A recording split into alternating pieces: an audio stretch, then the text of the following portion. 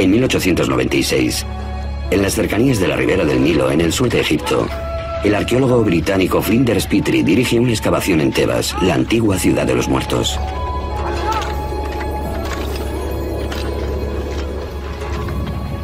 Aquí realiza uno de los descubrimientos más importantes de la arqueología bíblica.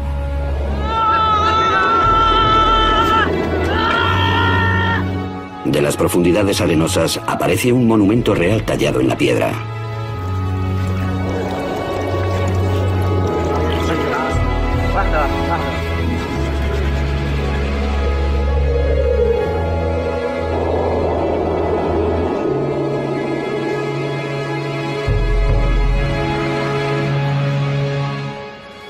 Es la llamada estela de Menepta, hecha en honor del faraón Menepta, hijo de Ramsés el Grande. Hoy se encuentra en el Museo del Cairo. Esta estela es lo que los egipcios de la antigüedad habrían llamado una estela de la victoria, porque en ella se conmemora la victoria sobre pueblos extranjeros. La mayoría de esta inscripción jeroglífica celebra el triunfo de Menepta sobre Libia, su enemigo occidental. Pero casi como si fuera una adenda, en el espacio de dos líneas se menciona la conquista de un pueblo al este de Egipto. El texto dice, Askelón ha sido hecho cautivo. Gezer ha sido hecho cautivo. Yanoam, en el norte del valle del Jordán, ha sido ocupado. Hemos despedazado Israel. Su semilla ya no existe. La historia demostró que la seguridad del faraón fue un error. Más que señalar su aniquilación, la estela de Menepta anuncia la entrada en la escena mundial de un pueblo llamado Israel. Esta prueba no tiene precio, porque demuestra la presencia de un grupo étnico llamado Israel en la meseta central del sur de Canaán. La fiable cronología egipcia proporciona la fecha de 1208 a.C.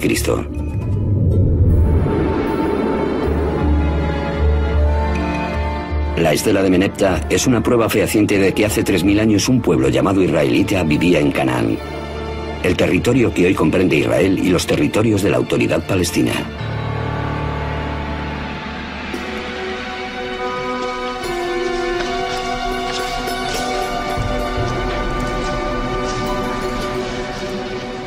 Los antiguos israelitas son célebres por las historias conocidas que relatan su historia. Abraham e Isaac. Moisés y los diez mandamientos. David y Goliat.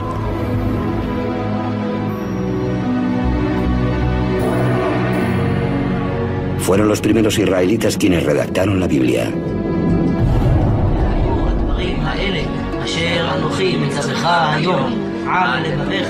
A través de los textos de la Biblia hebrea, las creencias de los antiguos israelitas sobrevivieron hasta convertirse en el judaísmo, una de las religiones más antiguas practicadas en la tierra. Y fueron los judíos quienes dieron al mundo un legado impresionante, la creencia en un solo Dios.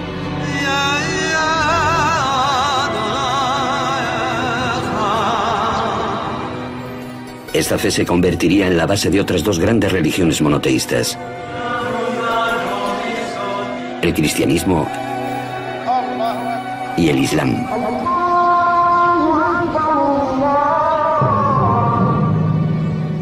La Biblia hebrea, a menudo conocida como Antiguo Testamento, para diferenciarla del Nuevo Testamento, describe los acontecimientos del primer cristianismo y la creencia en un solo Dios, que son parte esencial de la cultura del mundo. Pero en la antigüedad, todos los pueblos, de los egipcios a los griegos, pasando por los babilonios, adoraban a muchos dioses, normalmente a través de ídolos.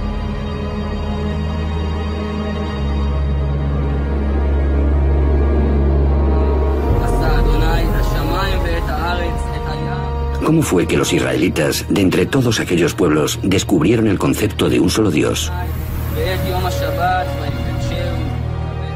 ¿Cómo se les ocurrió una idea que transformaría el mundo tan profundamente? Ahora, los arqueólogos y los expertos bíblicos están alcanzando una nueva síntesis que promete revelar no solo nuevos descubrimientos históricos, sino también el significado profundo de lo que los autores de la Biblia querían comunicar. Comienzan cavando en la tierra y en la Biblia. No nos podemos permitir ignorar los textos bíblicos, sobre todo si podemos aislar un resquicio de verdad entre todos los cuentos y además tenemos las pruebas arqueológicas para ello. ¿Qué ocurre cuando ambos, texto y artefacto, apuntan en la misma dirección? Entonces estamos pisando terreno históricamente firme.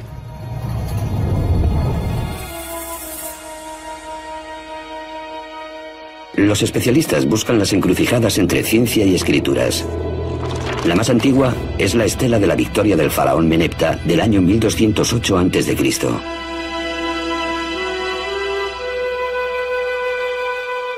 Tanto la estela como la Biblia ubican a un pueblo llamado los israelitas en las elevaciones de Canaán, una superficie que engloba a los actuales Israel y territorios de la autoridad palestina. Es aquí, entre dos de los mayores imperios de la historia, donde comenzó la historia de Israel. La Biblia hebrea está llena de historias sobre los orígenes de Israel.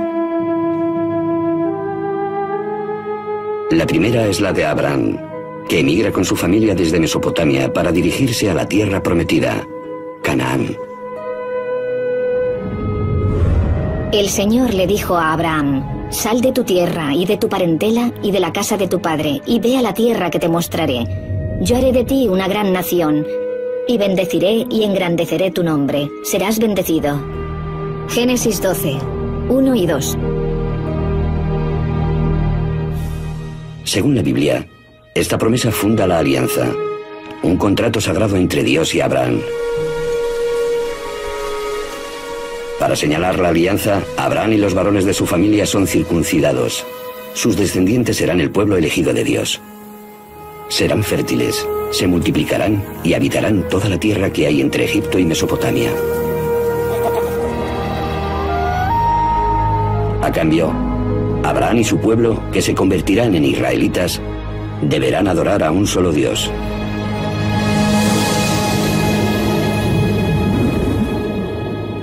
Esta idea es nueva, nadie la había tenido antes.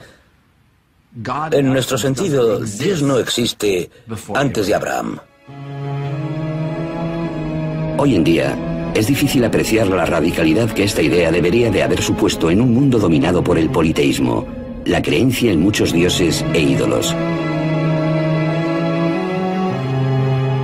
El relato de Abraham es parte del primer libro de la Biblia, el Génesis, como lo son el Arca de Noé y Adán y Eva.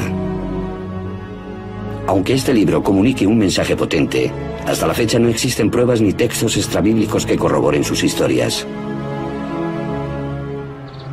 Cuanto más te remontas en los textos bíblicos, más difícil resulta encontrar pruebas históricas.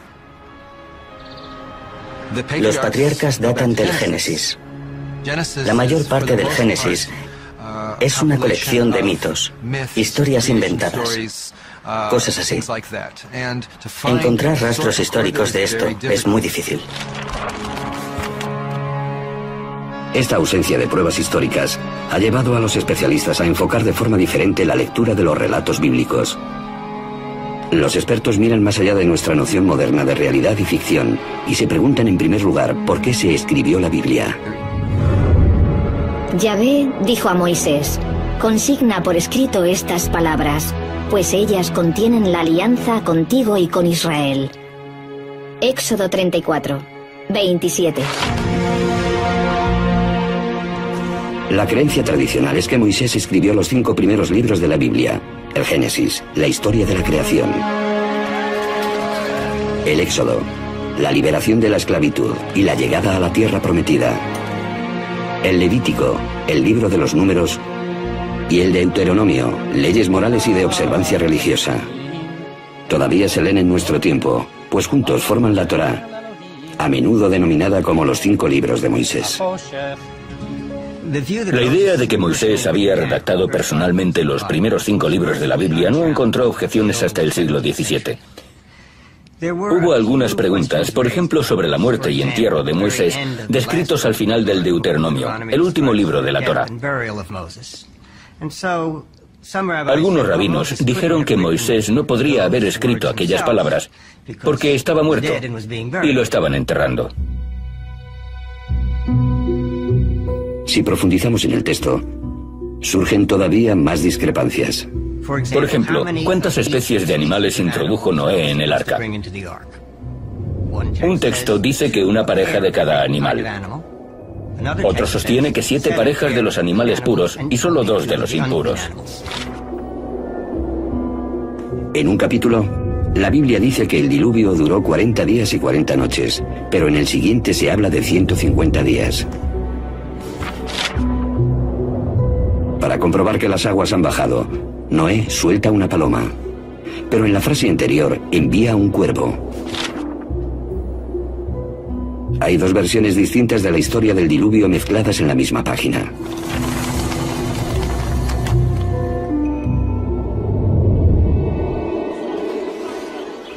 Muchas discrepancias así se repiten a lo largo de las páginas de la Biblia, algo que sugiere que fue redactada por más de una persona.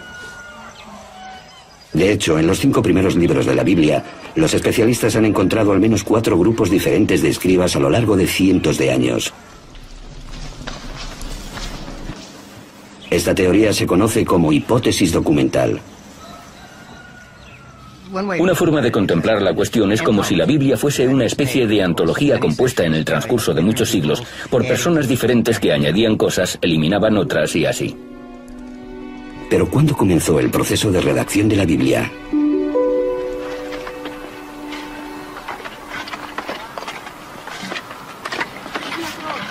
Tel Zayit es un pequeño yacimiento en la línea suroccidental del antiguo Israel que data de los tiempos bíblicos. Desde 1999, Ron Tapi ha estado trabajando aquí. Era el último día de lo que había sido un típico día de excavación. Mientras estaba haciendo unas fotografías panorámicas desde la grúa, un voluntario informó a su supervisor de que pensaba que había visto unas marcas interesantes, unos arañazos que probablemente fuesen letras talladas en la piedra. ¿Dónde aquí? Las letras serían un hallazgo raro. Cuando Tapi se arrodilló para ver las marcas, se llevó la sorpresa de su vida. Me agaché e inmediatamente vi unas letras muy claras y diferenciadas.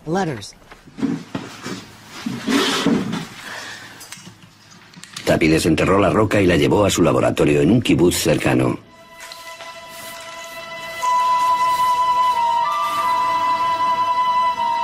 Fue entonces cuando se dio cuenta de que se trataba de algo más que una simple inscripción. Aleph, Bet, Gimel, Dalet. Me percaté de que esta inscripción era un alfabeto. Esto es, no una historia, sino las letras del alfabeto semítico escritas en el orden correcto. Nun, Pei y Ain son difíciles de leer, pero también están. Esta escritura es una forma antigua del alfabeto hebreo. Lo que encontraron no eran dos o tres palabras talladas de forma casual, sino el alfabeto completo. Todo indica que es el antepasado de la caligrafía hebrea.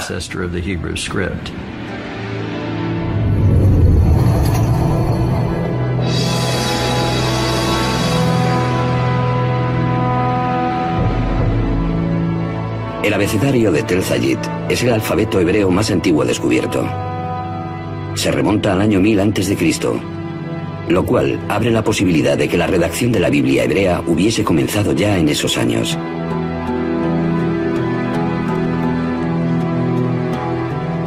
Para descubrir el texto más antiguo de la Biblia, los especialistas examinan la ortografía, gramática y vocabulario hebreos. La Biblia hebrea es un conjunto de textos escritos a lo largo de más de mil años.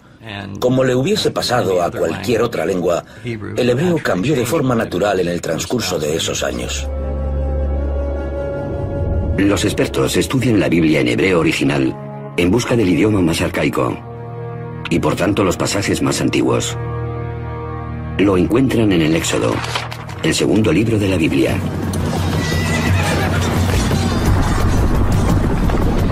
Arrojó a los carros y al ejército del faraón al mar, y sus oficiales se ahogaron en el mar rojo. Éxodo 15, 4. Este pasaje, conocido como la canción del mar, es el pasaje culminante del Éxodo. La historia de la esclavitud de los israelitas en Egipto y cómo Moisés los llevó a la libertad. En toda la Biblia, ningún acontecimiento recibe más menciones que el Éxodo. Con el desarrollo de la escritura hebrea antigua, la canción del mar podría haber sido redactada alrededor del año 1000 a.C., la época del alfabeto descubierto por Tapi. Pero seguramente el fragmento se recitaba como poema mucho antes de los comienzos del hebreo escrito. Es muy posible que fuese un tipo de cuento contado en verso que la gente recitaba alrededor del fuego. Igual que normalmente nuestros poemas son más fáciles de recordar que la prosa. Pensamos que la poesía se transmitía oralmente de unas personas a otras, mucho antes de que comenzasen a ponerlas por escrito. Debido a que los versos del Éxodo son tan antiguos, ¿es posible que la historia posea referentes históricos?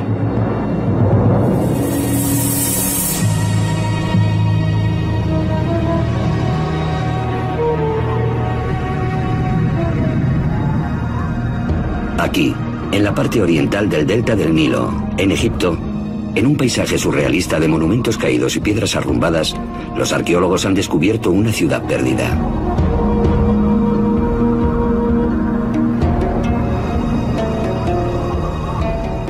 Inscrito en los monumentos de todo el conjunto, se halla el nombre de Ramsés II, uno de los gobernantes egipcios más poderosos. Ramsés es conocido como el faraón del Éxodo. Los textos egipcios antiguos denominan a esta ciudad Pi Ramsés o Casa de Ramsés, un nombre reiterado en la historia bíblica del Éxodo. El único elemento específico mencionado en el Éxodo que podemos conectar con materiales no bíblicos son las ciudades que los hebreos tuvieron que construir y que se llaman Pitón y Ramsés. Los especialistas están de acuerdo en que la ciudad bíblica de Ramsés es la antigua ciudad egipcia Pi Ramsés. Sus ruinas actuales están en Tanis. La mayoría de los egiptólogos han identificado Pi Ramsés, la ciudad erigida por Ramsés, con Tanis, debido a la abundancia de monumentos dedicados a Ramsés. Esta concordancia entre la arqueología y la Biblia proporciona el marco temporal del Éxodo, que no podría haber sucedido antes de que Ramsés se convirtiese en rey alrededor del año 1275 a.C., y tampoco podría haber tenido lugar después de 1208 a.C., cuando la estela del faraón Menepta, el hijo de Ramsés, ubica a los israelitas en Canaán. La Biblia dice que los israelitas abandonaron Egipto en masa. 600.000 hombres con sus familias. Y después merodearon por el desierto durante 40 años. Pero incluso si damos por hecho que la Biblia exagera, tras 100 años de búsqueda, los arqueólogos todavía no han encontrado pruebas de una migración que pueda vincularse al relato del Éxodo. Ningún yacimiento nos da información alguna sobre la ruta del pueblo a la deriva a través de la naturaleza. Simplemente no hay pruebas del éxodo en ningún sitio. Tras el éxodo, la Biblia dice que finalmente Dios llevó a los israelitas a la tierra prometida, Canaán. La arqueología y las fuentes extrabíblicas revelan que Canaán estaba formado por un conjunto de ciudades-estado bien fortificadas, cada una con su propio rey, que servían a Egipto y a su faraón. Los cananitas fueron una cultura próspera de Oriente Próximo durante miles de años que adoraba a muchos dioses a través de ídolos.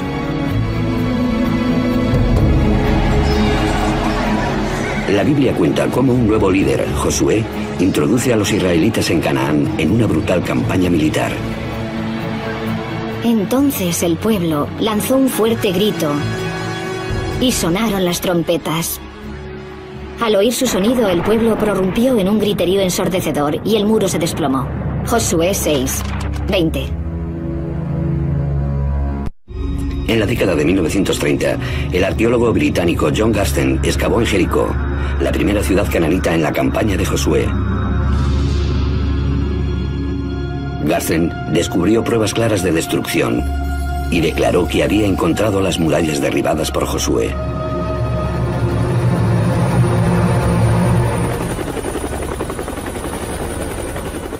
También existen indicios de destrucción en Hazor, descrita por la Biblia como la mayor ciudad cananita.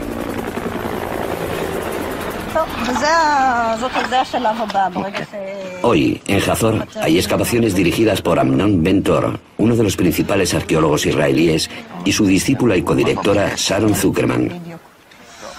Estoy caminando en un pasillo situado entre dos alas del palacio cananita de los reyes de Hazor. Se pueden ver signos de destrucción por casi todas partes. Aquí se pueden ver piedras quemadas. Y lo que es más importante, las vemos partidas en un millón de fragmentos. Se necesita un calor tremendo para causar tanto daño. Este incendio fue, por decirlo así, la madre de todos los incendios.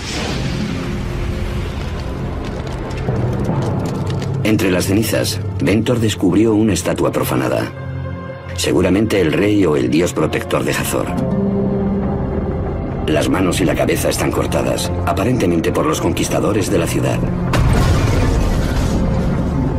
El incendio marcó el final de la Hazor cananita.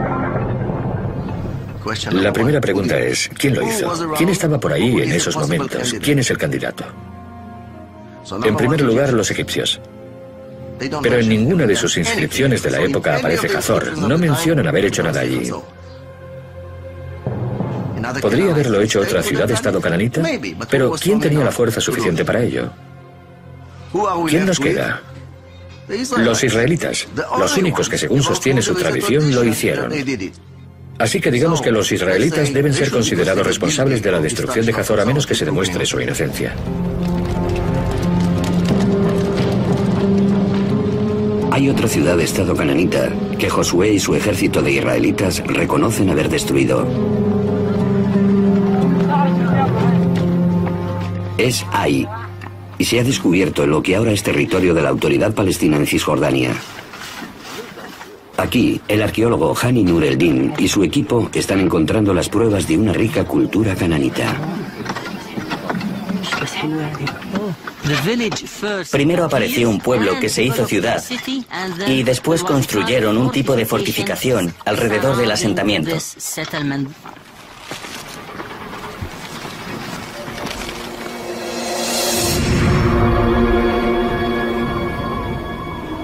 Estos montones de piedras fueron una vez un palacio y templos magníficos que después se destruyeron.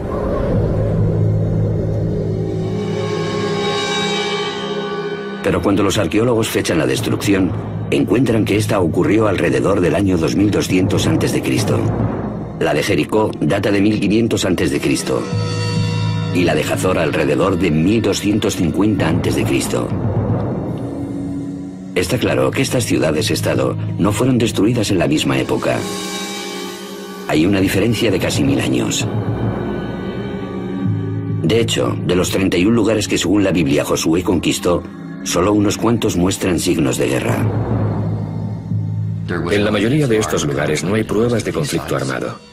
También descubrieron que la mayor parte de las grandes localidades cananitas que se supone fueron destruidas por los israelitas o bien no lo fueron o lo hicieron otros.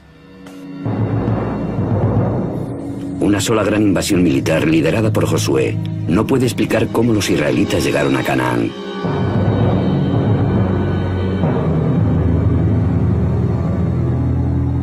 Pero la destrucción de Hazor sí coincide con el momento en que la estela de Menetta ubica a los israelitas en Canaán. Así que, ¿quién destruyó Hazor? Amnon Bentor todavía cree que los israelitas destruyeron la ciudad. Pero su codirectora, Sharon Zuckerman, no piensa lo mismo. El último acto de destrucción consistió en la mutilación de las estatuas de reyes y dioses. Pero no hay signos de guerra ni de lucha. No vemos armas en la calle como en otras ciudades destruidas por extranjeros. Las excavaciones revelan que en Hazor había una capa social inferior de siervos, esclavos y plebe, y una superior formada por el rey y las élites ricas. En los grandes palacios de la élite de Hazor, Zuckerman encuentra zonas de abandono y desatención. Para los arqueólogos, estos signos indican una cultura en decadencia, una rebelión interna.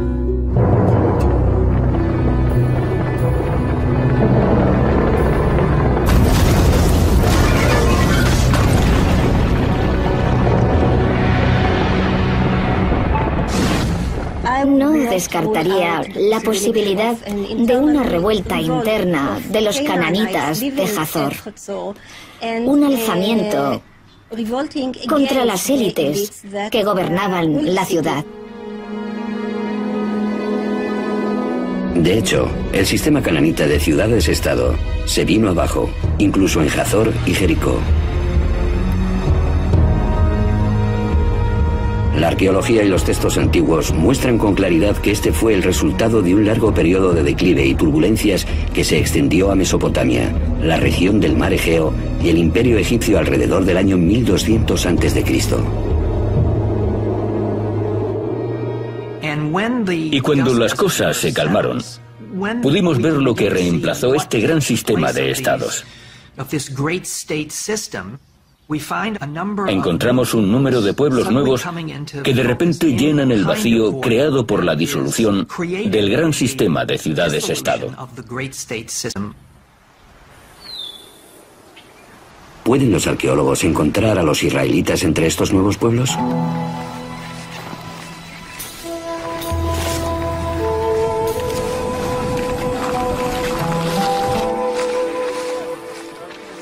En la década de 1970, los arqueólogos comenzaron a hacer estudios extensos en la zona elevada central de Canaán, que hoy se encuentra en el territorio de la Autoridad Palestina en Cisjordania. En aquellos tiempos yo enseñaba y solía llevar a los estudiantes a las colinas dos veces a la semana. Cada día recorríamos entre dos y tres kilómetros cuadrados. Poco a poco cubrimos toda la zona. Israel Finkelstein y equipos de arqueólogos peinaron grandes zonas y recogieron todos los fragmentos de alfarería antigua que había sobre la superficie.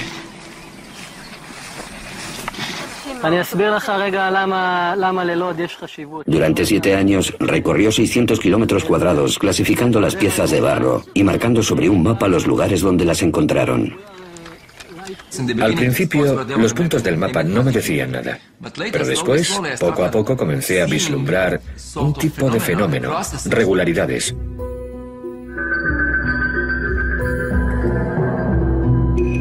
Al fechar la alfarería, Finkelstein descubrió que anteriormente al año 1200 a.C. había aproximadamente 25 asentamientos humanos. Calculó que la población total sería de entre 3.000 y 5.000 habitantes. Pero justo 200 años después, se produce un aumento espectacular de la población y los asentamientos. Cuando se produce esta revolución demográfica y la población crece sin parar, encontramos unos 250 asentamientos. La población se multiplicó por 10 hasta 45.000 personas más o menos. Este fenómeno no puede explicarse como fruto del crecimiento vegetativo normal. Un ritmo así es imposible en la antigüedad.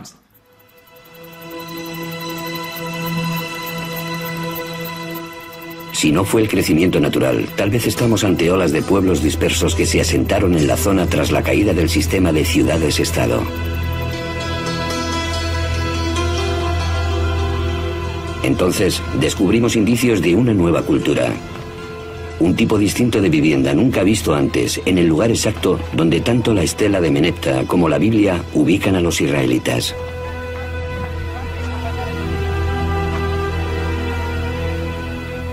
Los lugares donde aparece esta clase de casa coinciden con las zonas donde los israelitas vivían. Incluso a veces se las denomina casas israelitas o tipo de vivienda israelita. Parece que la gente que vivía en estas aldeas se organizaba en un tipo de sociedad más o menos igualitaria, porque no hay grandes construcciones arquitectónicas. Si te fijas en los hallazgos, son relativamente pobres. La alfarería es más bien mundana. No quiero ofender a los primeros pobladores o a los israelitas de la antigüedad, pero aquí hay muy poco arte. Curiosamente, esta alfarería rudimentaria encontrada en los nuevos pueblos israelitas es muy parecida a la de uso diario hallada en las ciudades cananitas anteriores como Hazor.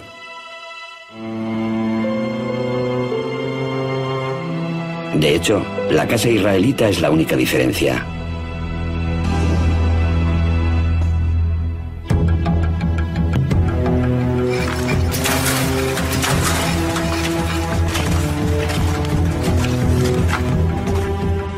Estas grandes semejanzas han llevado a los principales arqueólogos a una asombrosa nueva conclusión sobre los orígenes de los israelitas antiguos.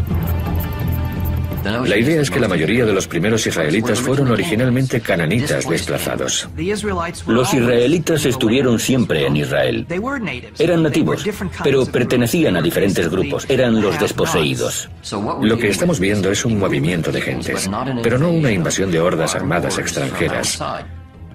Más bien se trató de una revolución social y económica. Los textos antiguos describen cómo los gobernantes egipcios y sus vasallos, los reyes cananitas, sobrecargan a las clases bajas de Canaán con impuestos e incluso esclavitud. Una nueva y radical teoría basada en la arqueología apunta a lo que ocurrió después. A medida que este sistema social opresivo decae, las familias y las tribus de siervos, esclavos y miembros de la plebe cananita aprovechan la oportunidad. Buscando una vida mejor, abandonan las viejas ciudades-estado y se dirigen a las colinas. Libres de la opresión de su pasado, se alzan en lugares nuevos como un pueblo nuevo, los israelitas.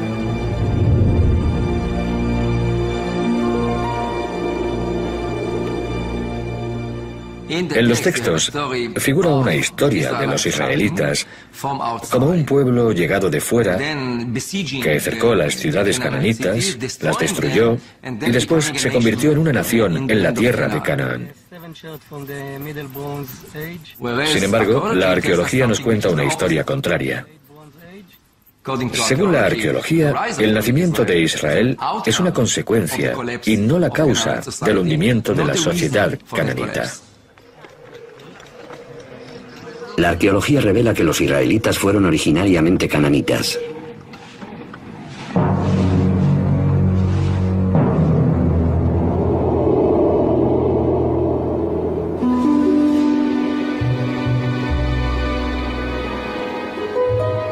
Entonces, ¿por qué la Biblia suele presentar a los israelitas como extranjeros en Canaán?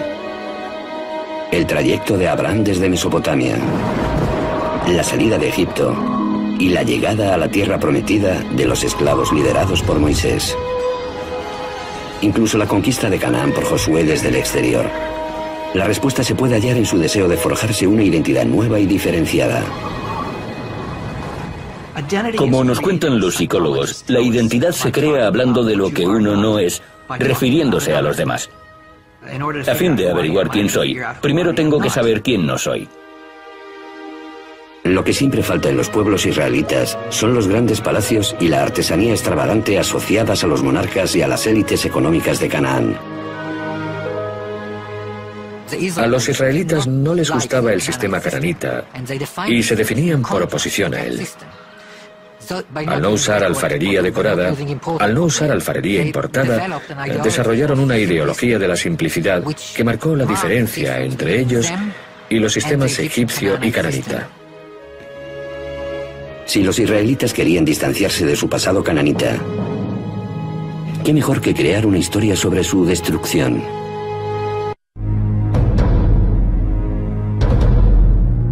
Pero las historias de Abraham, el éxodo y la conquista tienen otro propósito.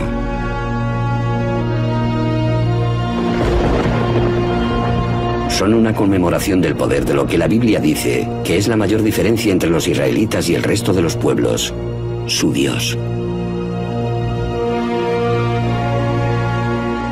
En el judaísmo posterior, el nombre de Dios se considera tan sagrado que ni siquiera se puede pronunciar. No sabemos exactamente lo que significa y tampoco cómo se pronunciaba. pero parece ser el nombre personal del Dios de Israel. De modo que de alguna manera su título es Dios y su nombre era estas cuatro palabras. En inglés y español son YHWH. Pensamos que probablemente se pronunciaba Yahweh o algo así. Pero Yahweh solo aparece en la Biblia hebrea. Su nombre no se encuentra en los textos o historias cananitas. Así que, ¿dónde encontraron los israelitas a su Dios?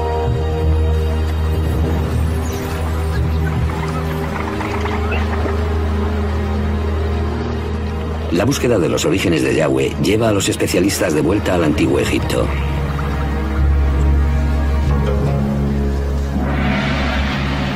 Aquí, en la ciudad real de Karnak, durante más de mil años los faraones festejaban su poder con estatuas, obeliscos y murales tallados sobre las paredes de los templos.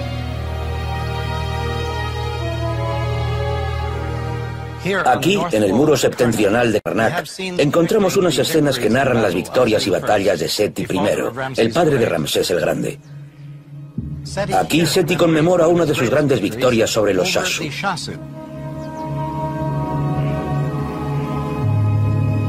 Los Asu eran un pueblo que vivía en los desiertos del sur de Canaán, ahora en Jordania y en el norte de Arabia Saudí, en torno a la misma época en que aparecen los israelitas. Los textos egipcios dicen que uno de los lugares donde los Asu vivían se llamaba YHW, probablemente pronunciado Yahu, seguramente el nombre de su dios protector. Ese nombre, Yahu, es extrañamente parecido a Yahweh, el nombre del dios israelita.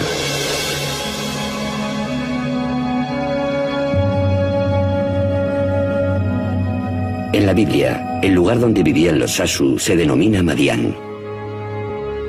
Fue aquí, antes del Éxodo, donde la Biblia nos cuenta que Moisés encontró a Yahweh en la forma de una zarza ardiente.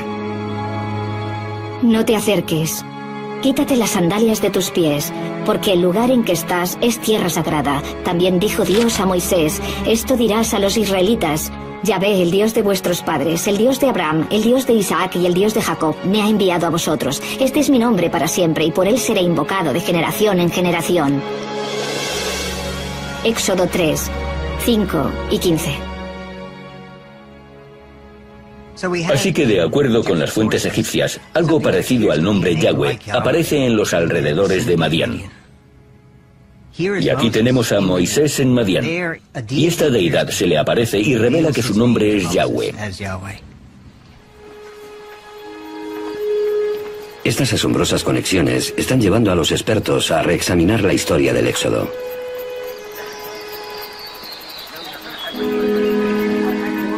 Aunque no hay pruebas de una migración masiva, algunos creen que un pequeño grupo sí que escapó de Egipto.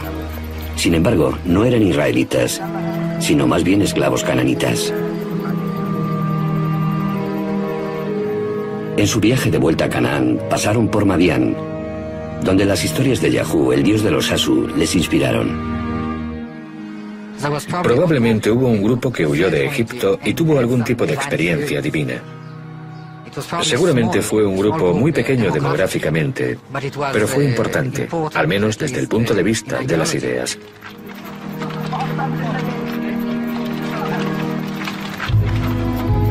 Siguieron hacia la comarca elevada en el centro de Canaán, donde se toparon con las tribus que habían huido de las ciudades-estado cananitas.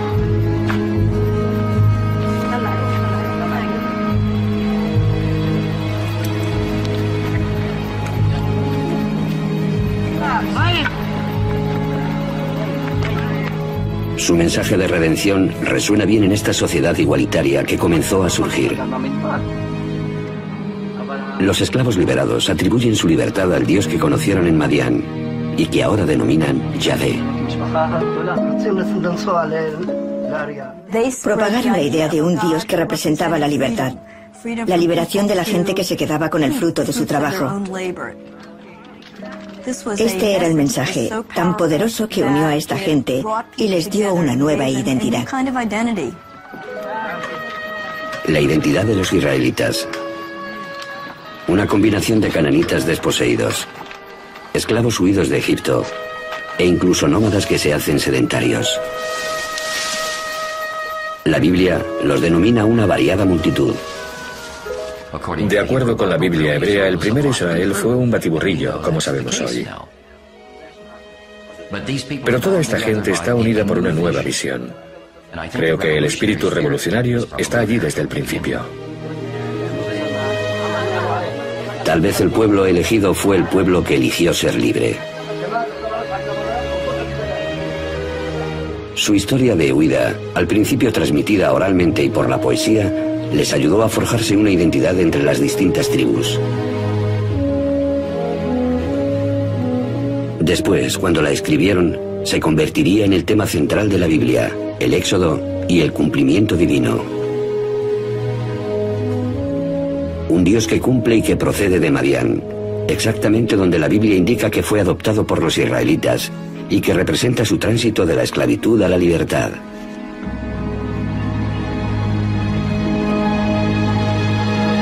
Entonces, ¿se halla aquí el inicio del monoteísmo? La idea común sobre lo que diferenciaba a los antiguos israelitas de sus vecinos es que estos adoraban a muchos dioses y diosas diferentes, mientras que los israelitas adoraban a un solo Dios verdadero. Pero no fue así. Esta figurita de un becerro, que seguramente representa a él, el dios principal dentro de las deidades cananitas, es uno de los miles de ídolos descubiertos en yacimientos arqueológicos israelitas. A menudo los israelitas adoraban a otros dioses. Tal vez se suponía que no debían hacerlo, pero lo hicieron. Así que al menos en la práctica muchos, si no todos los israelitas, eran politeístas. Según esta prueba arqueológica, el modelo bíblico del pueblo israelita monoteísta debe ser cuestionado. Sin embargo, las palabras, los pensamientos y las ideas tienen el poder de crear cosas. Al intentar definirse como un pueblo único que adoraba a un solo Dios, los redactores de la Biblia hebrea plantaron la semilla que después germinó y se convirtió en la base del monoteísmo practicado por las tres principales religiones de nuestra cultura actual, fueran escritas por Moisés o por escribas, las historias del Antiguo Testamento están grabadas en los corazones de millones de personas que han encontrado en las palabras de la Biblia su fe y su consuelo.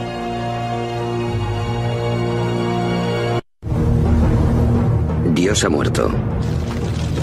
O al menos eso debió de parecerle a los antepasados de los judíos en el año 586 a.C. Jerusalén y el templo de su Dios están ardiendo. La nación de Israel fundada por el rey David ha sido barrida. Podría haberles parecido el fin, pero en realidad fue el principio. Porque de la terrible destrucción surgió un libro sagrado, la Biblia, y una idea que cambiaría el mundo, la creencia en un solo Dios. Ahora, una nueva y provocadora historia emerge de los descubrimientos provenientes de lo más profundo de la tierra y de la Biblia. Queríamos examinar la posibilidad de que los restos del rey David estuviesen aquí. Una historia de detectives arqueológicos que unirá las pistas que rodean el misterio del autor de la Biblia, cuándo se redactó y por qué. Queda claro que fue un pequeño pergamino. Ahora, la ciencia y las escrituras convergen en la creación de una nueva y gran historia de un pueblo de la antigüedad, Dios y la Biblia. La Biblia en profundidad. Los secretos enterrados de la Biblia. Episodio 2. El debate entre la comunidad científica y los estudiosos de la religión prosigue. Muchos creen la hipótesis documental, que el Antiguo Testamento tuvo muchos autores, lo cual descarta a Moisés como la única fuente. Y puesto que no existen pruebas históricas de su vida, algunos incluso se preguntan si Moisés existió. Sin embargo, hay algunos personajes bíblicos que podrían haber dejado una huella rastreable. Alrededor del año 1000 a.C. apareció uno de estos personajes inmortales capaz de unir a las doce tribus de Israel contra un nuevo y poderoso enemigo. David metió la mano en su bolsa. Sacó de ella una piedra y la arrojó con la onda, hiriendo al filisteo en la frente. La piedra se le clavó en la frente y cayó de bruces contra el suelo. Primer libro de Samuel 1749. De todos los nombres del Antiguo Testamento, ninguno aparece con más frecuencia que David. Las escrituras dicen que David creó un reino que se extendió desde Egipto a Mesopotamia. Convirtió Jerusalén en su capital real y forjó una nueva alianza con Dios, conocido como Yahvé, que prometió a David que él y sus descendientes gobernarían la tierra para siempre. Salomón, el hijo de David, construyó un templo donde Yahvé, ahora el Dios de la nación de Israel, moraría por toda la eternidad. Es el reino de David y Salomón, una nación unida bajo el mismo Dios, según reza la Biblia. Hoy en día algunos escépticos arguyen que no hubo nada parecido a una monarquía unificada. Sostienen que es una invención bíblica posterior, especialmente de los especialistas modernos. Es decir, que David no existió. Como un revisionista bíblico afirma, David no fue más real que el rey Arturo. Pero entonces, en 1993, un sorprendente descubrimiento arrojó nueva luz sobre quien la Biblia llama el más grande rey de Israel. Gilatu estaba terminando un trabajo de campo con un ayudante en Tel Dan, una excavación bíblica en el norte del actual Israel. A cargo de la excavación estaba el célebre arqueólogo israelí Abraham Biran. El día terminaba y Cook estaba tomando sus últimas medidas cuando oyó un grito desde abajo. Era Biran con su potente voz gritando, Gila, vámonos. Y yo le hice un gesto con la mano y seguí trabajando. Tras una segunda llamada de Virán, Cook le dijo a su ayudante que la bajase y comenzó a descender la colina. Llego allí, tiro el bolso y la pizarra y preparo mis cosas. Pero algo le llamó la atención una piedra con lo que parecía arañazos, aunque en realidad se trataba de una inscripción antigua. Esta vez fue ella quien llamó a Virán a gritos. La miró, después me miró a mí y dijo, Dios mío. Cook había encontrado un fragmento de una estela de la victoria escrita en arameo, una lengua antigua muy similar al hebreo. Hecha por orden del rey de Damasco o de uno de sus generales. La piedra conmemora la conquista de Israel. Maté a poderosos monarcas al mando de miles de carros y jinetes. Maté al rey de la casa de David.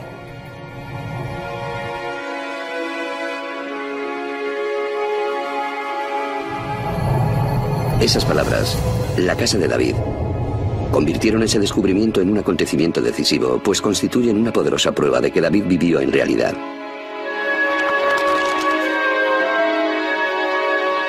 Al contrario que el Génesis, las historias de los reyes de Israel se alejan de la narrativa bíblica legendaria y se adentran en la historia.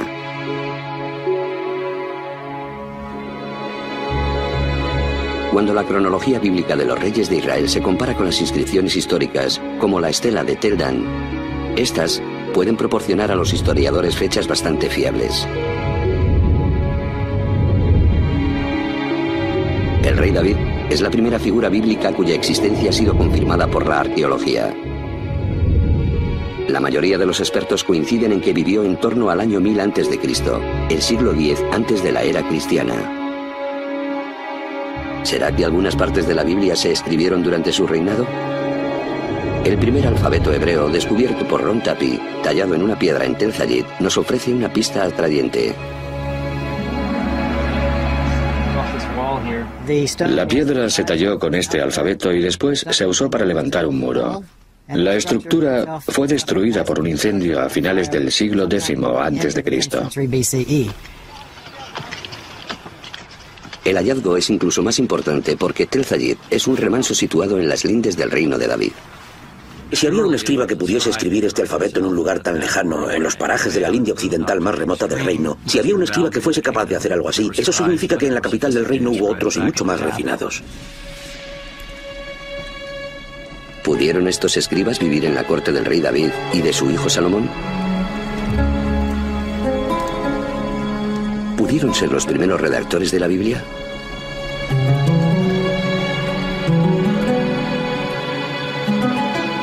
En el siglo XVIII, los especialistas alemanes revelaron un indicio sobre quién escribió la Biblia, oculto en dos nombres distintos de Dios. De acuerdo con una de las explicaciones, Abraham conocía a Dios por su nombre más íntimo y personal que normalmente se pronuncia Yahweh, Yahvé. Los pasajes con el nombre de Yahvé que en alemán se escribe con una J, se conocen por los expertos como J. Pero según otros, Abraham conocía a Dios simplemente por la palabra hebrea más usada para referirse a Dios, Elohim. Así, los dos redactores se denominaron E por Elohim y J por Yahvé. Probablemente basándose en poemas y canciones transmitidos de generación en generación, ambos escribieron una versión del remoto pasado de Israel. Las historias de Abraham en la tierra prometida, Moisés y el Éxodo. De estas dos fuentes, la más antigua es la que conocemos como J, que muchos expertos fechan en los años de David y Salomón. Debido a que el contexto de la versión de los hechos según J es la zona alrededor de Jerusalén, es probable que el escritor viviese allí, tal vez en las cortes reales de David y Salomón.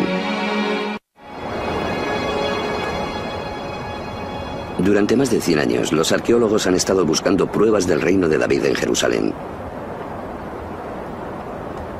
Una arqueóloga israelí, Eilat Masar, estuvo excavando en la parte más vieja de la ciudad, lo que hoy en día se conoce como Ciudad de David. Pero debido a que esta zona había sido escenario de luchas, destruida y reconstruida a lo largo de miles de años, era muy improbable que allí sobreviviesen restos bíblicos. Pero entonces, Comenzaron a aparecer grandes muros de 3, 5 metros de grosor, que iban en todas las direcciones, desde el este 30 metros hacia el oeste sin fin. Unos muros así de grandes solo pueden ser parte de un edificio enorme. Masar cree que las excavaciones que ha realizado hasta la fecha constituyen solamente el 20% del tamaño total de la construcción. Una estructura tan descomunal demuestra centralización y capacidad constructora. Solo puede ser una estructura real. Este enorme complejo puede probar la existencia de un reino, pero ¿se trata del reino de David?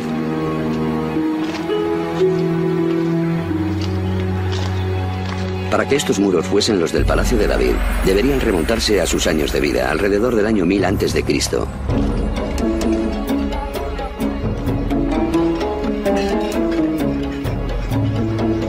problema es que los muros de piedra no pueden ser fechados por sí mismos.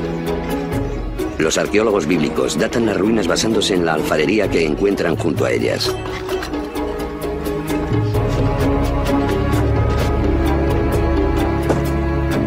La datación según la alfarería descansa en dos ideas.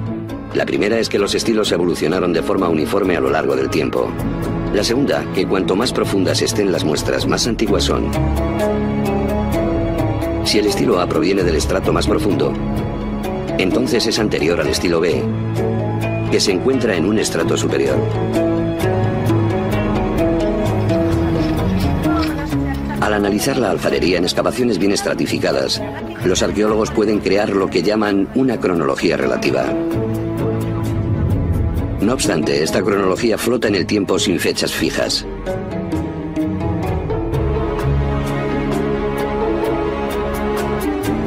Para fijarla, William Foxwell Albright, considerado el padre de la arqueología, usa acontecimientos tanto de la Biblia como de los textos egipcios y mesopotámicos para asignar fechas a los distintos estilos de alfarería.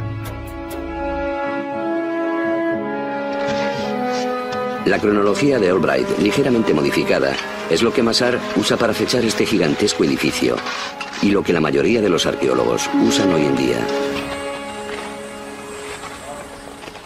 ¿Ha descubierto Masar el Palacio de David?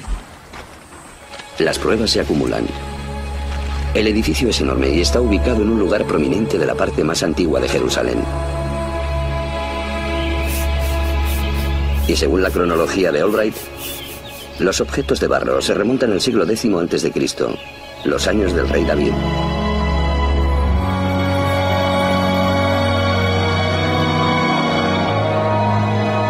Masar cree que ha encontrado el palacio de David.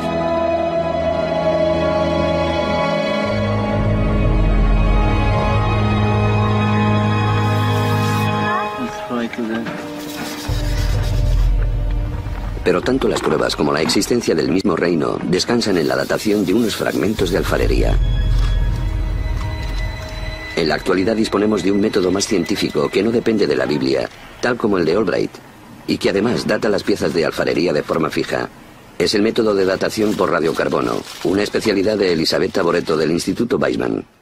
El primer paso es el trabajo de campo, que consiste en relacionar las muestras de materiales como huesos de aceitunas, semillas o tizones con el contexto arqueológico. Si una semilla de aceituna se encuentra en la misma capa que una pieza de alfarería, el carbono de la semilla puede usarse para datar la pieza de barro. Cuando la semilla muere, su carbono radioisótopo, carbono 14, se degrada a un ritmo regular a lo largo del tiempo, mientras que el carbono 12 no se pervierte. Midiendo la proporción de carbono 14 respecto del carbono 12, Boreto puede determinar la edad de la semilla, que a su vez puede usarse para averiguar la de la pieza de alfarería.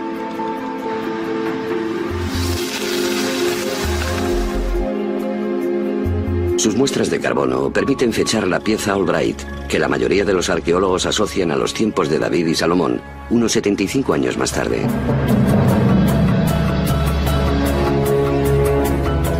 Para acontecimientos sucedidos hace tanto tiempo, esta diferencia puede parecer baladí. Pero si Bareto tiene razón, el palacio de David de Masar y el alfabeto hebreo antiguo de Tapi tienen que ser datados de nuevo, lo cual los coloca en la época de los reyes menores Omri, Ahab o Acab, y su esposa, la odiada Jezabel, todos ellos adoradores del dios cananita Baal.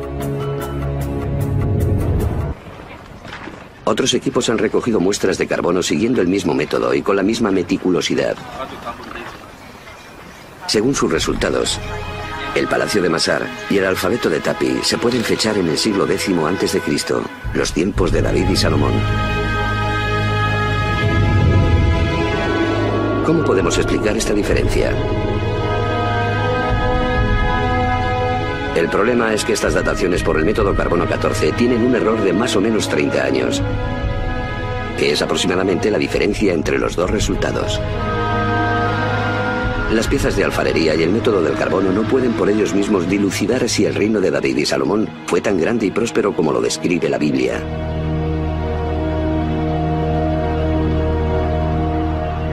Por suerte, la Biblia ofrece pistas de otros lugares en los que se puede excavar para encontrar pruebas de la existencia del reino. La Biblia asegura que David conquistó el reino y que su hijo Salomón fue el gran constructor. Esa fue la razón de la leva que el rey Salomón impuso para construir la casa del Señor, su propia casa. El terraplén, el muro de Jerusalén, Hazor, Megiddo y Gezer. Primer libro de los Reyes 9:15.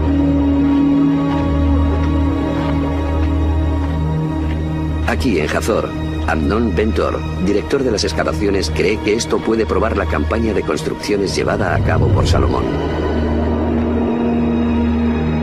Los arqueólogos lo llaman una puerta de seis cámaras, es decir, una gigantesca entrada fortificada con torres y garitas.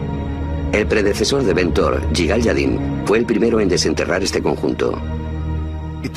Resultó ser una puerta con seis cámaras. E inmediatamente Yadin recordó una puerta muy parecida excavada en Gezer. Después, un equipo de la Universidad de Chicago descubrió esta puerta aquí en Megiddo. Asombrado por el parecido entre estas tres puertas, Yadin recordó el pasaje de la Biblia.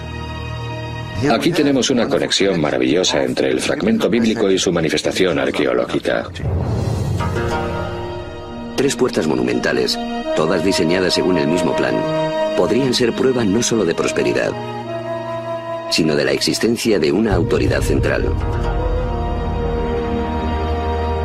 A través de los años, los israelitas habían estado divididos en tribus y después en reinos de norte a sur. La ubicación de estas puertas, sorprendentemente semejantes en ambas zonas, indican que hubo una sola autoridad de gobierno en todo el país.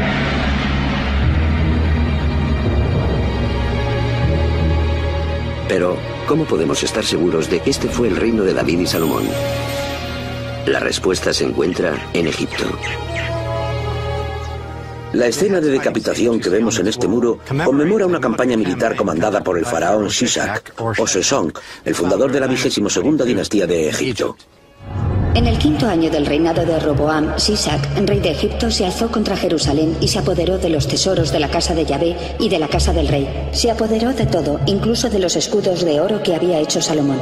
Primer libro de los Reyes 14, 25 y 26.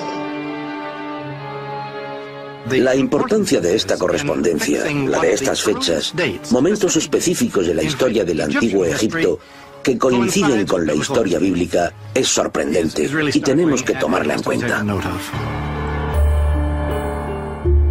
Esta sorprendente coincidencia entre la historia bíblica y la del antiguo Egipto proporciona una fecha fiable de la muerte de Salomón. Según la rigurosa cronología egipcia, la campaña de Sisac se remonta al año 925 a.C. Y la Biblia dice que Salomón murió cinco años antes, es decir, en 930 a.C.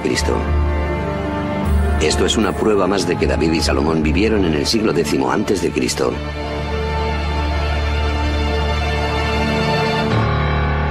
Aunque ocultas en estos muros se encuentran más pruebas. Estos óvalos que representan a cautivos y murallas de ciudades son los lugares conquistados en Israel por el faraón Shishak. Uno de ellos es Gezer, donde los arqueólogos encontraron el sello de las construcciones salomónicas, una puerta de seis cámaras. Bill Diver dirigió estas excavaciones a finales de la década de 1960. Aquí tenemos evidencias tangibles de una destrucción. Abajo se encuentran las piedras originales casi en el mismo lugar donde fueron colocadas, pero si miramos aquí nos damos cuenta de que están agrietadas. Incluso podemos ver dónde fueron quemadas por el calor y el gran incendio provocado aquí. Y arriba vemos que el fuego fue tan intenso que la piedra caliza se fundió y fluyó como si fuese lava. Esto es un conjunto de pruebas empíricas de una destrucción que podemos relacionar con la célebre campaña del faraón Sisak. Si la puerta fue destruida por Sisak en el año 925 a.C., entonces debieron de construirla en vida de Salomón, fallecido cinco años antes.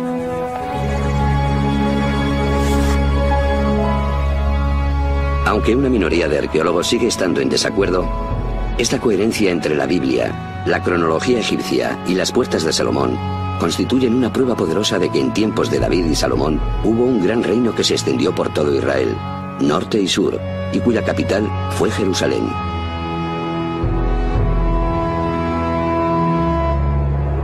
Pero esta ciudad fue más que un centro político, también fue un centro religioso.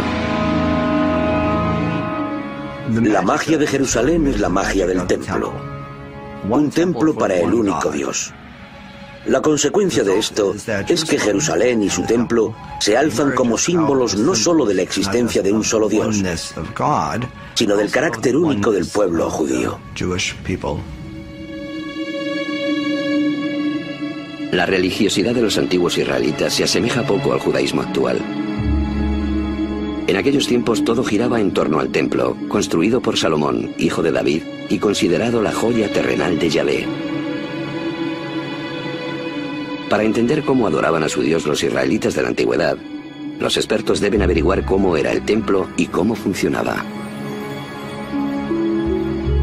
Pero aunque los arqueólogos saben dónde deben estar los restos, es imposible excavar allí. Porque es la sede del tercer lugar más santo del Islam, la cúpula de la roca y la mezquita de Al-Qasr. Ni una sola piedra del templo de Salomón ha sido desenterrada aunque la Biblia ofrece una descripción muy detallada del edificio. La casa que el rey Salomón construyó para el Señor tenía 30 metros de largo, 20 de ancho y 15 de alto. En el santuario interior hizo dos querubines. Cada uno medía 5 metros de altura y ambos estaban revestidos de oro. Primer libro de los Reyes 6, 2, 23 y 28. La descripción de la Biblia sugiere cómo fue el plano del templo de Salomón, muy parecido a los de los templos construidos por los pueblos politeístas vecinos. El más similar es uno situado a cientos de kilómetros al norte de Jerusalén, Ain Dara, en la actualidad Siria. Ambos poseen dimensiones parecidas y la misma planta. Los dos templos están custodiados por esfinges y querubines, como los llama la Biblia. La peculiaridad del templo de Aindara son las enormes huellas del dios que lo habitaba, las cuales marcan sus pasos hacia el trono que se halla en el santuario interior. Si tomamos la información sobre el templo de Salomón, que se halla en el libro de los reyes, y la comparamos con el templo de Aindara, tenemos una imagen bastante buena de su aspecto en la época de Salomón.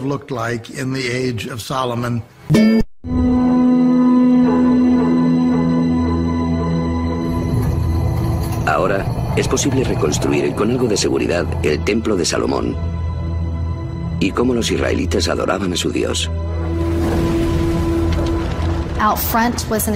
En la entrada había un enorme altar. Detrás había un atrio que llevaba al interior del templo. Había una sala, el santuario, y detrás la sala más sagrada, donde, según la tradición, se encontraban el arca de la alianza y las tablas de la ley. Esta zona era considerada el lugar más sagrado de la tierra porque era la sala en la que se podría encontrar la presencia de Dios. Aunque los sacerdotes adoraban a Yahvé en el templo, muchos israelitas no eran tan fieles. En Tel Rehob, los arqueólogos están desenterrando una casa israelita que ilustra las prácticas religiosas de sus antiguos habitantes. Hemos encontrado esta figura de barro tan bonita y excepcional que muestra a una diosa, la diosa de la fertilidad, que era adorada aquí en Israel. En este caso, está sosteniendo a un bebé. ¿Quién es esta diosa de la fertilidad y qué hace un ídolo pagano en un hogar israelita? Pruebas fehacientes de su identidad surgieron en 1968. Bill Diver llevaba a cabo una excavación para salvar unas tumbas en el sur de Israel, cuando un habitante de la zona le entregó una inscripción robada. Cuando regresé a casa y la desenvolvé, pensé que me iba a dar un ataque al corazón. Resultó ser la inscripción de una tumba en caracteres nítidos del siglo VIII. Contiene el nombre del fallecido y dice, bendito sea por Yahvé, en buen hebreo bíblico. Pero dice por Yahvé y su Aserá, y Aserak es la antigua diosa madre cananita. Miles de figuritas y varias inscripciones que vinculan a Yahvé con Aserak se han encontrado por todo Israel.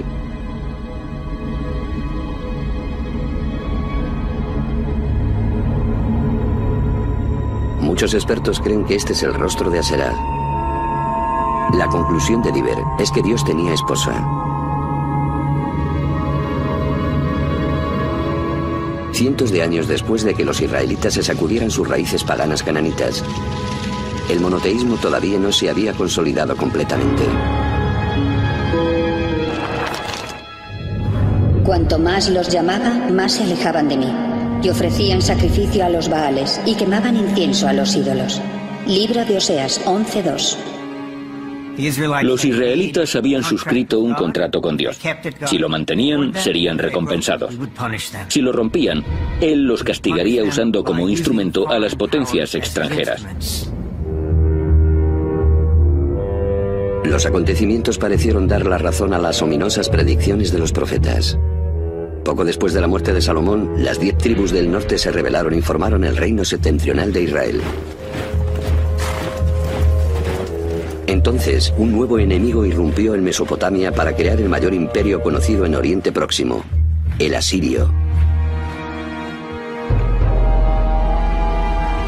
Numerosos textos y relieves asirios dan testimonio de su dominación sobre Israel y Judá.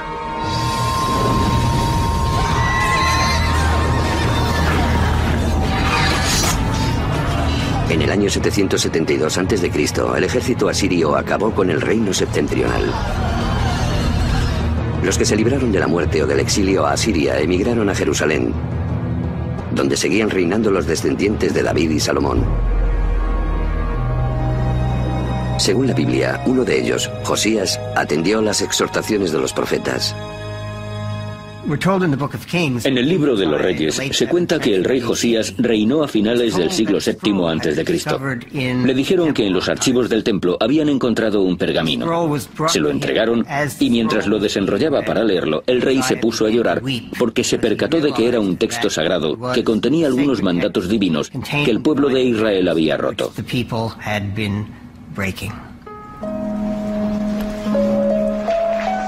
Los especialistas creen que el pergamino perdido es una parte del quinto libro de la Torá.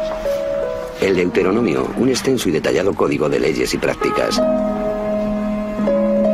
Este texto inspiró a otro grupo de escribas en el siglo VII a.C., los denominados escritores de. Según la hipótesis documental, tras los redactores de los grupos J y E, D es el tercer conjunto de escribas que tomaron parte en la redacción de la Biblia hebrea. Los redactores de reescribieron el Éxodo para reafirmar la alianza entre Dios y el pueblo de Israel. Debéis amar al Señor porque Él os ama. Os ha amado más que a cualquier otra nación. Así que el amor divino a Israel requiere una correspondiente lealtad a Dios. La lealtad exclusiva a Dios. Y el Deuteronomio es la parte de la Biblia donde más se insiste en que solo se puede adorar al Dios de Israel. Para imponer la alianza, Josías ordenó que todos los ídolos y altares de otras deidades fuesen destruidos. El libro del Deuteronomio contiene la prohibición más clara de la adoración a otros dioses, los diez mandamientos. Yo soy Yahvé, tu Dios. No tendrás dioses extraños delante de mí. No crearás ídolos ni te inclinarás ante ellos o los adorarás. Deuteronomio 5, 6 al 9. Asociar la creencia en un solo Dios con la conducta moral, los diez mandamientos establecen un código de moralidad y justicia para todos, el ideal de la civilización occidental. A pesar de las reformas de Josías, los antiguos israelitas siguieron adorando a otros dioses. La aceptación de un dios y el triunfo del monoteísmo comenzó con una serie de sucesos de los que la Biblia, la arqueología y los textos antiguos dan fe de forma nítida.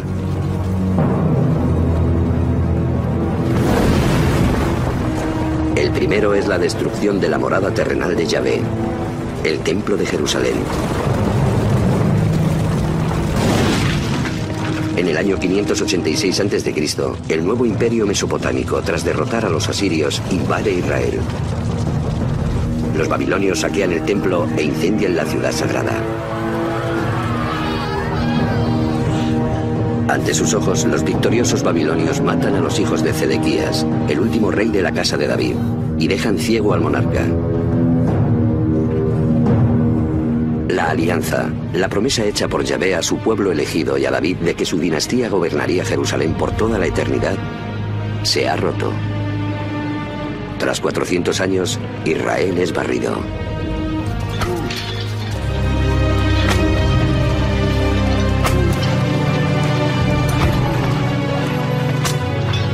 Los babilonios capturan a los sacerdotes, profetas y escribas y los arrastran encadenados a Babilonia. Los documentos babilonios confirman la presencia de israelitas exiliados, incluido su rey.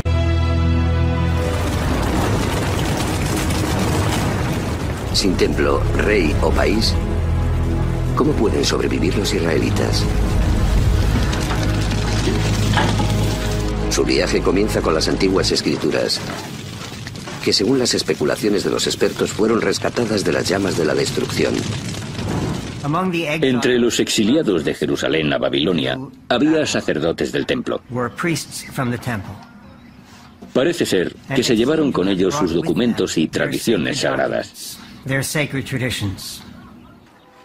Según la hipótesis documental, generalmente aceptada, es aquí, en Babilonia, lejos de sus hogares en Israel, donde los sacerdotes y escribas produjeron gran parte de lo que hoy se conoce como Biblia hebrea.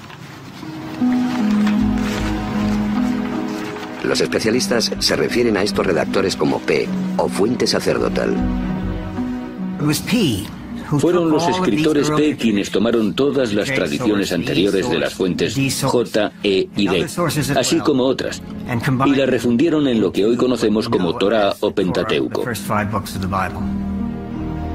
Pero más que producir una recopilación, el grupo P edita y escribe una versión del pasado lejano de Israel, incluida la historia de Abraham y de su alianza con Dios a través del ritual de la circuncisión, que separa a los israelitas de los demás como pueblo y mantiene su alianza con Dios. Pero la historia de Abraham, con su impresionante relato de la disposición paterna al sacrificio de su propio hijo, también trata del poder de la fe. No es una coincidencia que los escribas exiliados del Grupo P señalen el origen de Abraham en la ciudad de Ur, río abajo de Babilonia. Tal vez la misma fe que llevó a Abraham a la tierra prometida permita que los exiliados regresen.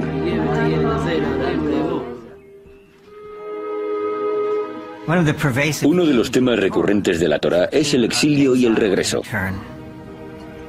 Abraham baja y sale de Egipto. Los israelitas también. Para los exiliados en Babilonia del siglo VI a.C., ese tema debería de haber tenido una gran resonancia. Dios, que en el pasado había actuado en su favor, seguramente lo haría de nuevo. Pero los israelitas tienen otro problema. ¿Cómo pueden redimirse a los ojos de Yahvé en el extranjero sin templo ni sacrificios rituales?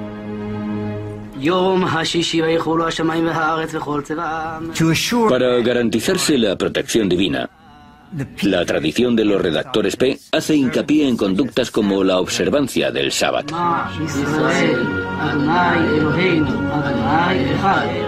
Es durante este periodo de exilio cuando los israelitas se dieron cuenta de que incluso lejos de su país, sin templo, sin sacerdotes y sin reyes, todavía podían adorar a Dios, ser fieles a Él y seguir sus mandamientos.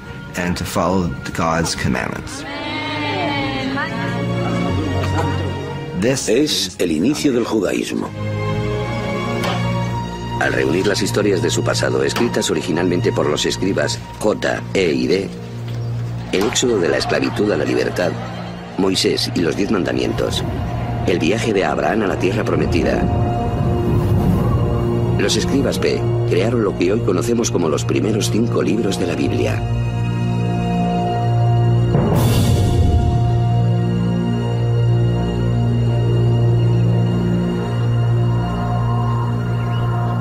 Aunque esta teoría es generalmente aceptada, las pruebas empíricas de textos bíblicos del exilio o de tiempos anteriores son difíciles de encontrar. Los textos bíblicos de esta época más célebres son los manuscritos del Mar Muerto, descubiertos por accidente en 1947. Estos pergaminos contienen fragmentos de los 39 libros de la Biblia hebrea.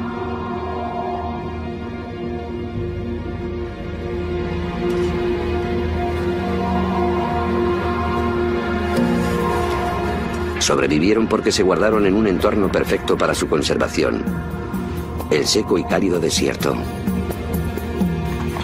Los arqueólogos sospechan que hubo al menos cientos de manuscritos en Israel. Pero debido a que fueron redactados sobre papiro o piel de animal, se descompusieron hace mucho tiempo.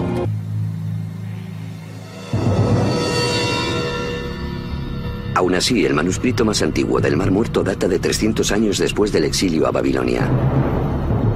A falta de un texto anterior, algunos expertos dicen que toda la Biblia es un conjunto de mentiras piadosas e incluso dudan de la existencia de Israel y de los israelitas.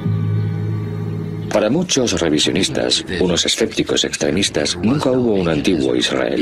Israel es por tanto una construcción intelectual, o en otras palabras, que esa gente no repensó su pasado, sino que se lo inventó. No tenía pasado, por tanto la Biblia es un mito, un mito fundacional contado a un pueblo sin legitimidad. La legitimidad del pasado israelita depende del hallazgo de pruebas de los orígenes antiguos de la Biblia.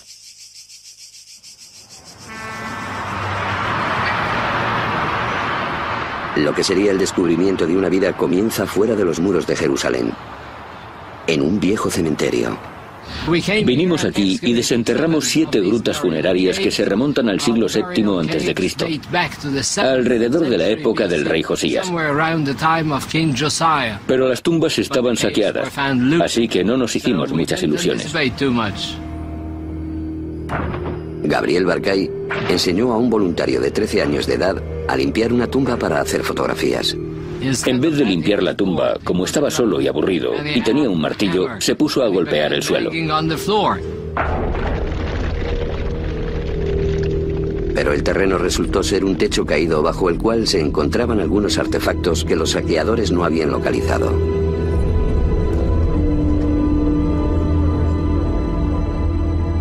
Entre los cientos de cosas sobresalía una. Parecía la colilla de un cigarrillo. Era un cilindro de unos 4 centímetros de longitud y un diámetro de algo menos de 2. Estaba claro que estaba hecho de plata y que era una especie de pergamino en miniatura. También encontraron otro mayor. Llevaron los dos a los laboratorios del Museo de Israel. Pero desenrollar los pergaminos para saber si contenían una inscripción legible podría destruirlos por completo. Andy Van fue uno de los epígrafos del proyecto. La arqueología es una ciencia destructiva. A fin de aprender algo tienes que destruir lo que hay. Gabriel Barkay y su equipo tenían que tomar una decisión. ¿Desenrollamos o preservamos los amuletos?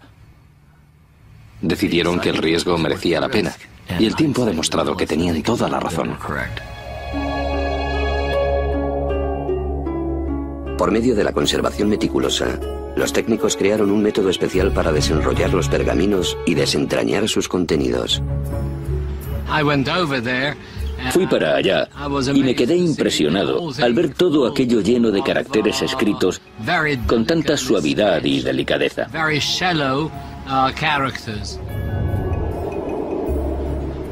La primera palabra que descifré allí mismo fue YHVW, cuatro letras que contienen el nombre impronunciable de Dios.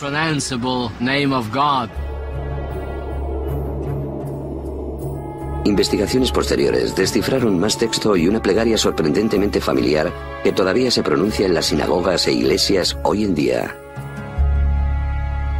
Que el Señor te bendiga y te proteja. Que el Señor haga brillar su rostro sobre ti y te muestre su gracia. Que el Señor te descubra su rostro y te conceda la paz. Libro de los números 6, 24 al 26.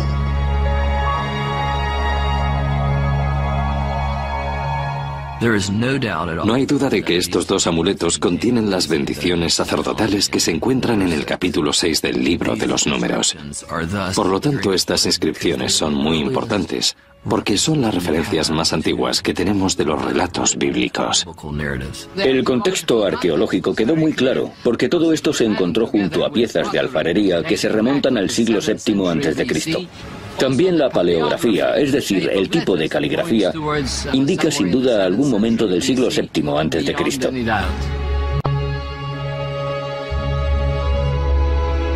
Las bendiciones sacerdotales de los manuscritos de plata anteceden a los manuscritos del Mar Muerto en 400 años. Es un hallazgo impresionante, puesto que al menos algunos versos de la Biblia se redactaron en la antigüedad durante los reinados de los descendientes de David. Al proporcionarnos un texto anterior al exilio en Babilonia, los manuscritos de plata confirman que la Biblia hebrea se creó a partir de poesía, plegarias y tradiciones orales que se remontan a los tiempos del redactor D de Josías y probablemente incluso más allá de los escribas E y J.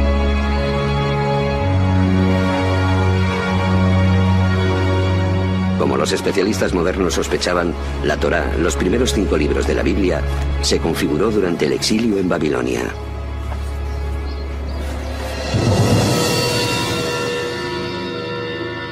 Pero acomplejados por los grandes templos y esculturas gigantes de los dioses babilónicos, los israelitas debían enfrentarse a una cuestión fundamental. ¿Por qué su dios, Yahvé, los abandonó? De aquí surge la idea de que el politeísmo fue nuestra perdición y que después de todo solo hay un Dios. Los israelitas abandonaron la locura del politeísmo. Así triunfó el monoteísmo, tal y como prueban las evidencias arqueológicas. Antes de la destrucción del primer templo y sea donde sea que excavemos en Judea, encontramos santuarios y con frecuencia también cientos e incluso miles de figuritas, también en Jerusalén. Pero no los hay tras la destrucción del templo. Hablamos de miles de ellas antes de la destrucción y absolutamente ninguna después.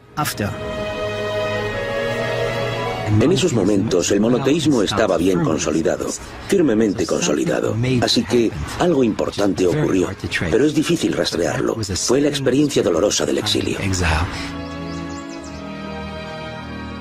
Fue a través de la experiencia de exilio y de la redacción de la Biblia que el concepto de Dios, tal y como lo conocemos hoy, nació.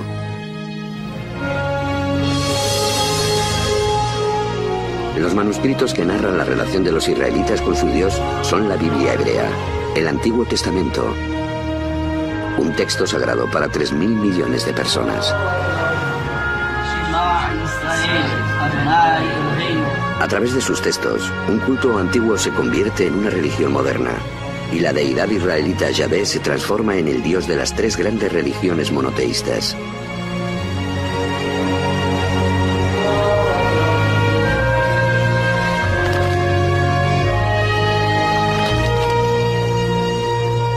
De sus enseñanzas, la Biblia estableció un código de moral y justicia cuyas aspiraciones resuenan a través de los siglos.